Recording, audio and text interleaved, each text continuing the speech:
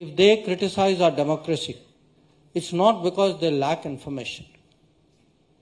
It is because they think they are also political players in our election. That is the reason.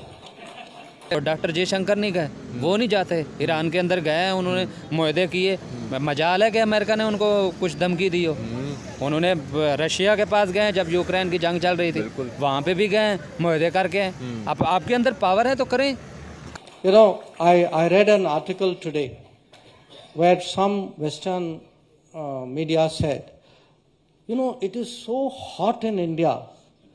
Why are they holding elections at this time?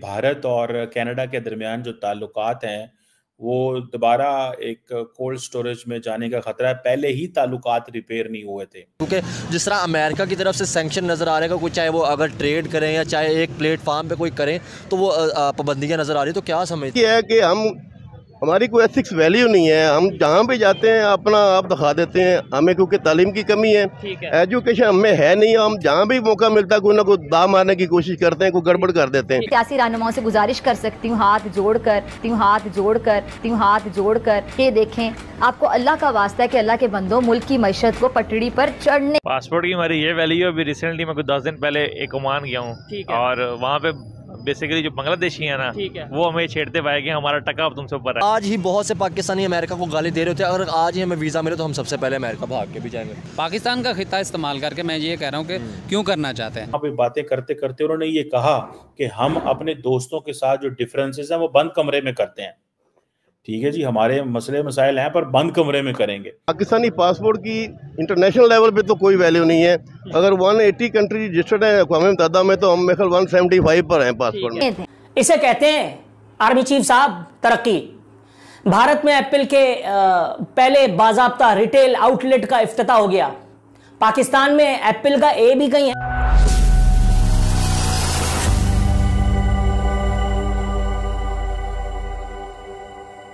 मेरा ये channel subscribe करें और मेरे हर update आपको मिले, इसके लिए bell icon ज़रूर दबाइएगा।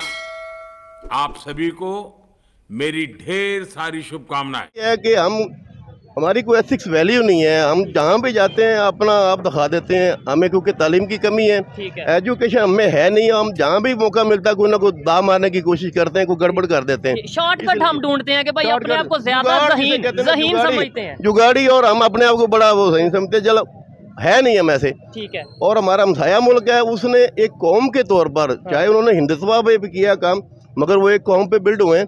हमारे अंदर तो कौमी वैल्यूज़ नहीं है ना हमारी एजुकेशन सिस्टम ऐसा है कि वो हमें एथिक्स सिखाए हमारे बच्चे वो कोई ऐसी बात नहीं सिखाई जा रही। बस एक ही है कि डॉक्टर बनना है इंजीनियर बनना है ये बनना है। मगर मॉरल वैल्यूज़ में हम बहुत डाउन है। ठीक हो गया। बड़ी ये बड़ी अथेंटिक बात की गई है। कुछ लोगों से बात की उन्होंने कहा जी हमारी गवर्नमेंट स्टेबल होगी इमरान खान आएँगे नवाज़ शरीफ आएँगे जरदारी वट एवर जो भी कोई आएगा वो ये हमारी वैल्यू बेहतर करेगा। लेकिन इन्होंने जो बात की है भाई जब तक हमारे पास एथिक्स नहीं होंगे एजुकेशन नहीं होगी चाहे कोई भी गवर्नमेंट आ जाए बाहर तो हम जैसे लोग जाएँगे। एजुकेशन सिस्टम में भी हमारे यहाँ बड़ी तफरीक है। अच्छा। एक गरीब का बच्चा वो और तालीम ले रहा है।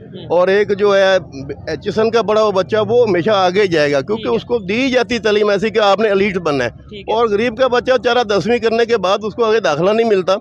अगर मिलेगा तो उसके पास फ़ीस नहीं होगी देने के लिए। हमारा एजुकेशन सिस्टम इतना महँगा हो गया कि आप आप सोच भी नहीं सकते कि कोई आम आदमी अच्छी तालीम क्वालिटी एजुकेशन हासिल करनी है अगर आपने खाली वो अपना एजुकेटेड वो वाला बनना है कि जो नाम पढ़ना जानता हो लिखना हमारे यहाँ बीए पास है मगर उनकी वो क्वालिटी एजुकेशन है आपने जैसे बात की क्वालिटी एजुकेशन वो होगी जो हाँ। सब एक सिलेबस इंटरनेशनल स्टैंडर्ड के हाँ जी और सबको मिलना चाहिए। वो एक गरीब के बच्चे को मिलना चाहिए और अमीर के बच्चे को। और इनशाला इससे कौम में एक वैल्यूज़ भी आएँगी उनकी एथिक्स भी ठीक होंगी और हम इनशाला आगे जाएँगे। अभी कुछ टाइम पहले की खबर थी जो सऊदिया से या गल्फ कंट्रीज़ की अगर बात करें वहाँ पे ये कहा रिपोर्ट के मुताबिक ये कहा गया कि जितने भी वहाँ पे भिकारी पाए जाते हैं mostly almost 90 percent eighty five percent ninety percent वो पाकिस्तानी होते हैं।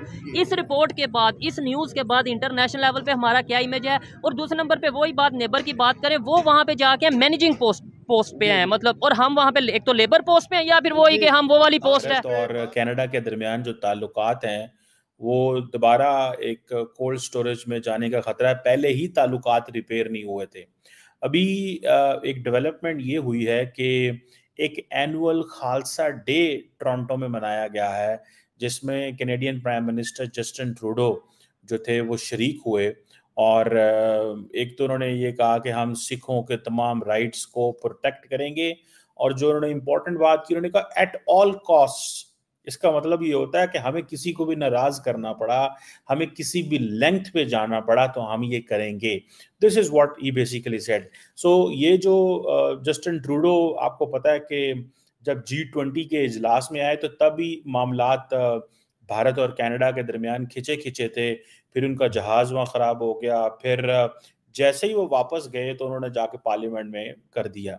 अब सिर्फ़ ये नहीं है कि जस्टिन ट्रूडो जो हैं, उन्होंने ये किया है इस हवाले से बात की है और उन्होंने ये उस महफिल में बात की है, बल्कि इसके साथ साथ जो कनाडा के ऑपोजिशन लीडर हैं जो कि बड़े क्रिटिकल हैं जस्टिन ट्रूडो के, पियर पोलिवर जो पियर पोलिवर हैं, वो भी उन्होंने भी खालसा डे सेलिब्रेशन के ऊपर स्पीच की और और उन्होंने कहा कि हम अमृतसर से कनाडा डायरेक्ट फ़्लाइट करेंगे।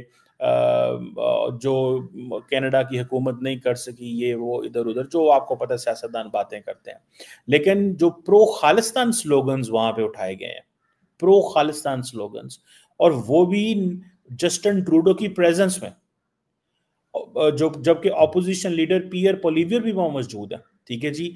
फिर जगमीत सिंह भी वहाँ मौजूद थे फिर टोरंटो के मेयर ओलिविया चाओ भी वहाँ पे मौजूद थे। सो so, ये एक ये एक इंटरेस्टिंग सिचुएशन इस तरह डेवलप होती है कि ऑलरेडी आपको पता है कि कनाडा के और इनके ताल्लुकात ख़राब थे। और ये जो प्रो खालिस्तान स्लोगन है ये पहली दफ़ा नहीं मल्टीपल टाइम इससे बेहतर अंदाज में तो असल हक बयान हो नहीं सकते थे जैदी साहब के जो बकौल इन्होंने बताए। लेकिन यूसुफ नज़र साहब सर तीस अरब डॉलर मतलब सुनकर हमने तो एक दो अरब डॉलर के साथ तीन अरब डॉलर के साथ खजाना चलाया है अभी कुछ माह पहले।